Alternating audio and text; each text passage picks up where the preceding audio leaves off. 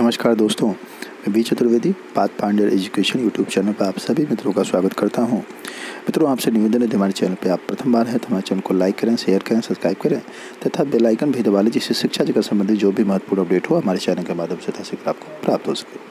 जैसा कि आज के समाचार पत्रों में सबसे महत्वपूर्ण सूचनाओं में से पहली सूचना है, अभ्यार्थन वापसी के लिए आवेदनों में खेल आयोग ने शुरू की जाँच। एल ग्रेड शिक्षक भर्ती अवशेष, श्रेष्ठा सूची के लिए कहना, करना होगा इंतज़ार।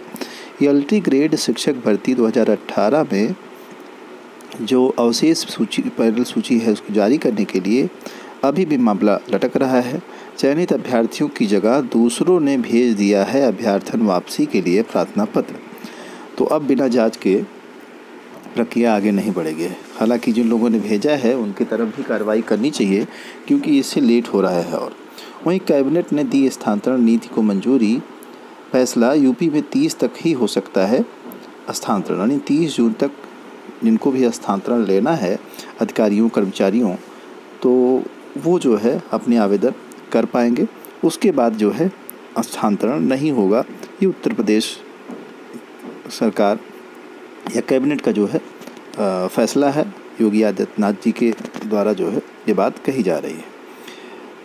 आगे तो यह है टीजीटी पीजीटी अभ्यर्थियों ने प्रदर्शन कर मांगी नियुक्ति।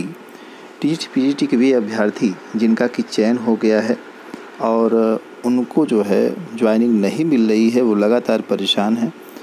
उन्होंने अपने चयन की, अपने पदों के मिलने और स्कूल आवंटन की मांग की है। देखिए दिया है टी जी पी दो हज़ार सोलह और इक्कीस के पैनल के बच्चे अभ्यर्थी अभी नियुक्ति के लिए भटक रहे हैं। उनका कहना है कि जगह खाली होने के बाद भी विभाग उन्हें अवसर नहीं दे रहा है। मांग को लेकर के अभ्यर्थियों ने माध्यमिक शिक्षा निदेशालय पर प्रदर्शन किया और पूर्व शिक्षक विधायक सुरेश जी से मुलाकात की। व्यवसायिक धराम पंजीकरण को परेशान रहे शिक्षक। ट्रांसफ़र को लेकर के जो पंजीकरण की वेबसाइट थी परिषदीय विद्यालयों की, वह जो है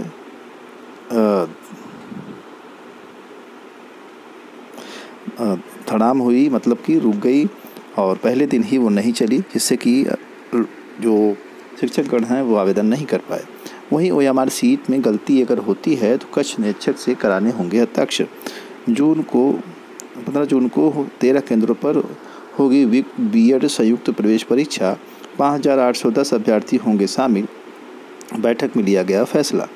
तो बी की जो संयुक्त प्रवेश परीक्षा है, उसके एडमिट कार्ड डाउनलोड हो रहे हैं, आप सभी भी डाउनलोड कर लें।